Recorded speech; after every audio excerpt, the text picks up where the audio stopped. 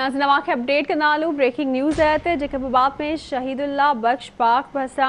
हथियार बंद नथा हिकु ॼणो मारिजी वियो आहे ऐं हिकु जणो ज़ख़्मी थी पियो आहे आगाह कंदा हलूं अहम ख़बर आहे त जेके बि बाद में शहीदु बख़्श पार्क भरिसां हथियार हूंद नथा हिकु जणो मारिजी वियो आहे ऐं हिकु जणो ज़ख़्मी थी पियो आहे फायरिंग में बख़्तियार जखराणी मारिजी वियो आहे ऐं मोहम्मद शेर ज़ख़्मी थी पियो आहे जिन खे अस्पताल मुंतिल कयो वियो आहे जेका शहीद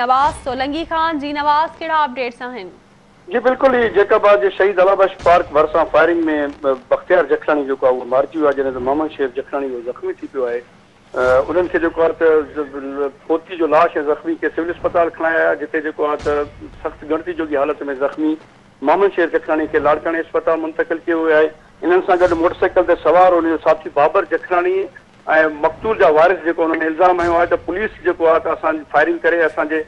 नौजवान खे जेको आहे त मारियो आहे ऐं जेको आहे ॿिए खे ज़ख़्मी कयो आहे उन्हनि इल्ज़ाम आयो आहे त पुलिस जी स्पेशल स्क्वाड जो इंचार्ज आ तारिक फरीन उनकी टीम जेकी है यह कार्रवाई कई है असांजे ना असांजा नौजवान डोहारी आहिनि न हुनजे मथां को केस दाख़िल है पुलिस न आहे त असांजो हुननि खे मारियो पुलिस जो मौक़िफ़ यो है कि हीउ असां नाकाबंदी दौरान रुकण जो जेको इशारो न रुकिया असां हुनजे पोयों लॻासीं उन्हनि असांजे मथां फायरिंग कई ऐं जो आहे फायरिंग में हुनजे पंहिंजी फायरिंग में हुनजो साथी जो आहे उहो मारिजी ज़ख़्मी थो है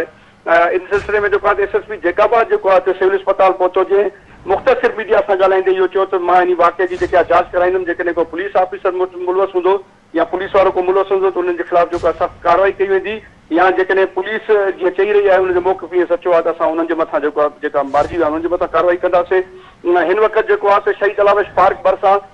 जेको मारिजी वियो आहे नौजवान बख़्तियार जखियाणी हुनजो लाश रखी करे वारसन जेको आहे धरणो वियो आहे उनजो इहो मुतालबो आहे त जेको स्पेशल स्क्वाड जी तारीख़ तरीन हुनजी टीम आहे हुनजे मथां जेको आहे केस दाख़िल कयो वञे हुननि खे फौरी तौर ते जेको आहे गिरफ़्तार कयो वञे न त असांजो एतिजाज हिन वक़्तु जारी रहंदो जी वॾी महिरबानी